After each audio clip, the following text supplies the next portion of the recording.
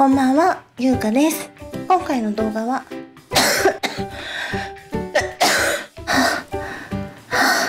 今回の動画は先日福島に観光に行ってきましたのでそちらのご紹介動画になりますちょっと声が変なのと顔がこうなっているのは今現在インフルエンザの A 型にかかっておりまして化粧をする気にもなれず服も着替える気が起きなくてこんな状態で撮っていますお見苦しいところをお見せして申し訳ございませんがいつものプラモ制作の番外編の動画として楽しんでもらえたら嬉しいです。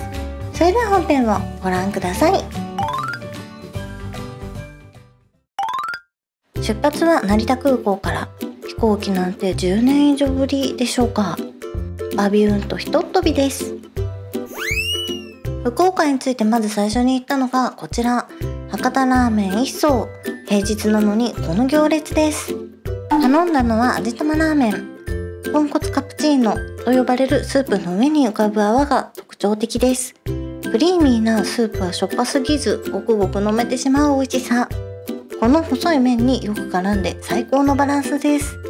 私猫舌なんで熱い麺はうまくすすれないんです。食べ方下手ですいません。餃子も美味しかったです。大満足のボリュームでした。次に訪れたのは串田神社。すごいしめ縄と思って見上げたら上の部分がうさぎになっていました。かわいい。初めてこの土地に来れたのでご挨拶のお参りをして御朱印をいただいてホテルに荷物を預けに行きました。にしてもこの日暑すぎて真夏みたいでした。荷物を預けたらレンタカーでドライブへ。ヤリスは初めてでしたがシートがしっかりしていて座り心地が良かったです。まずは糸島のヤシの木ブランコへやってきました。映えスポットとしても有名みたいです。一番気になっていたアルティメット三連車はなくなっていました。残念。どこでもドアみたいなものやヤシの木ブランコで遊んできましたがこれは映えなのでしょうか？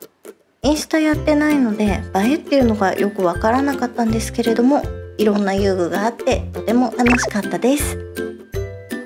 次に向かったのは50分ほど走ったところにある白糸の滝です。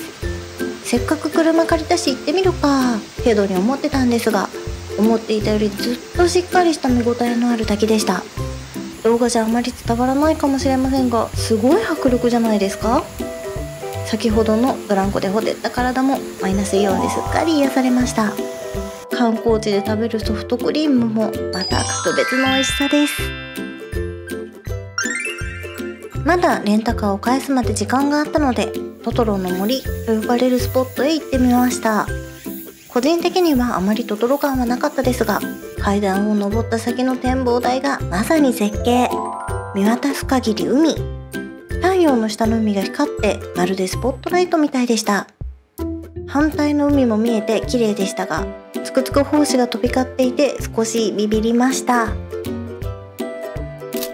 レンタカーを返して夕飯は山中赤坂店へ。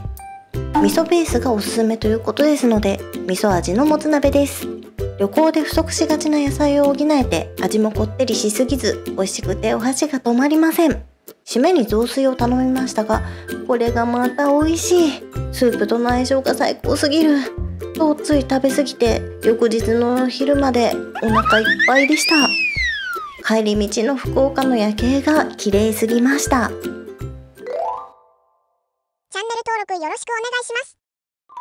昼の福岡も綺麗だ。ということで2日目は太宰府へ行きました。まずは腹ごしらえ。観光雑誌にも載っていた太宰府バーガーを食べましたカリッと揚げた唐揚げにしそと梅の風味がぴったり。バンズも外カリ中ふわで。とっても美味しかったです。これで600円？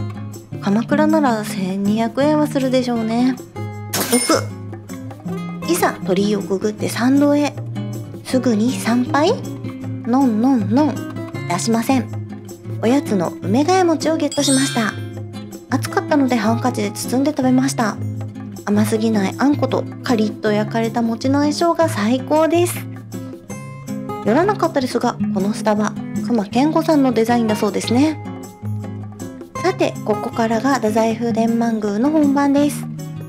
本殿改修中ということでしたので仮殿への参拝となりましたがなんて美しい建築なんでしょう。これなら神様もきっとお喜びでしょうね。参拝後おみくじを引きました。中吉だったので良かったのですが病気が長引く？最近体調不良続いてるので気を引き締めて過ごします。太宰府天満宮のすぐ横に遊園地がありました。1957年開業の歴史ある遊園地です。著作権は大丈夫なのかところどころ気になります。乗り物を乗ったり散歩をしたりと楽しかったですが雨予報だったとは思えない晴天で体感気温は35度ほどに感じました。動物と戯れたかったのですがこれ以上歩くのは危険だと判断し引き返しました。第2の目的地へ向かう前のお散歩の途中住吉神社という神社に出会いました。住吉神社は相撲三神の一つのようでこの神社で横綱奉納土俵入りが行われているようです。私もパワーを分けてもらいました。その後落水園という庭園へ。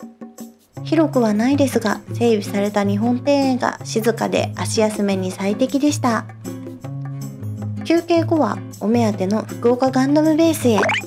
ガンダムベース自体久しぶりだったのでたくさん並ぶガンプラにテンションぶち上がりでした。買ったのはこちらのキットたち。見えてないけど限定のペルフェクティビリティも買いました。そして会計の時に知りました。ここには福岡ニューガンダムはないのだと。ガンダムベースとサイド F って分かれてるからおかしいと思ったんですよね。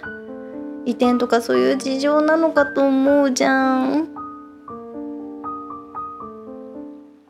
夕飯は地下へというお店へ行ったのですが店内に生けすがあってとってもおしゃれ。こんな大きな伊勢海老初めて見ました。美味しそうなアジのお刺身も生けすから取ってすぐさばいたものなので超新鮮です。ヒレ酒って初めて見ました。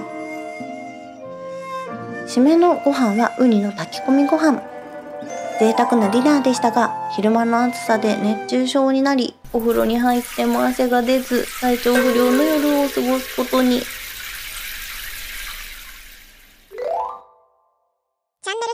しくお願いします。次の日は本庄市じゃないものの朝食にビルズを食べて体調を持ち直してフェリー乗り場へ。電車だと倍以上かかる時間を短縮して目的地へ向かいます。海の中道海浜公園を散歩しようと計画していたのですが到着したらあいにくの雨。いやいや降るなら昨日降ってくれよと思わずにはいられません。傘もないし帰るような売店も見当たらないし広い公園をお散歩できるのを楽しみにしていたのでとても残念でした。仕方なく入った水族館では入り口すぐイルカショーが迎えてくれました。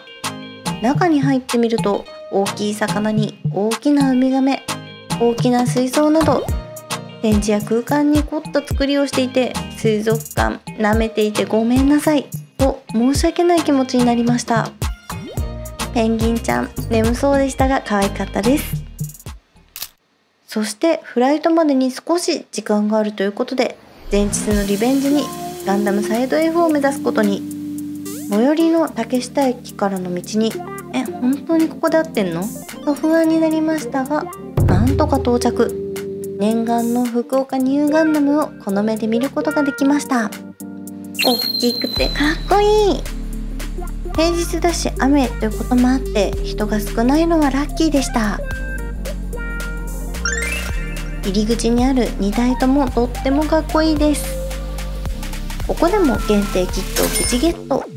飛行機にギリギリだったのでゆっくりは見れませんでしたが福岡に悔いを残さず観光できて幸せでした。急いで空港へ向かい締めの駆け込みラーメン。満開の順豚を食べました。暑いのに急いで食べないといけないという状況が猫舌には難易度が高かったですがあっさりした豚骨スープが身にしみる美味しさでした。飛行機からは福岡の夜景がとっても綺麗であーまた来たいな。と思う最高の旅の締めくくりでした。というわけで今回は福島へ旅行へ行ってきた様子をお届けいたしました。福島に旅行行く皆さんの参考になったら嬉しいです。そしてインフルエンザ大丈夫って心配してくださる方もいらっしゃるかと思いますが咳がひどいのと寝すぎて体のいろんなところが痛い。それ以外は元気です。日曜日の夜月曜日までは40度台ぐらいまで上がっちゃってすごくしんどかったんですけど月曜日に薬の効果があったのか火曜日には38度になって今水曜日で37度って感じです。あともう一息です。今コロナもインフルエンザも流行っていて薬局によっては薬不足なんてところもあるみたいなので皆さんもお体注意してくださいね。それでは次の動画でまたお会いしましょう。バイバーイ。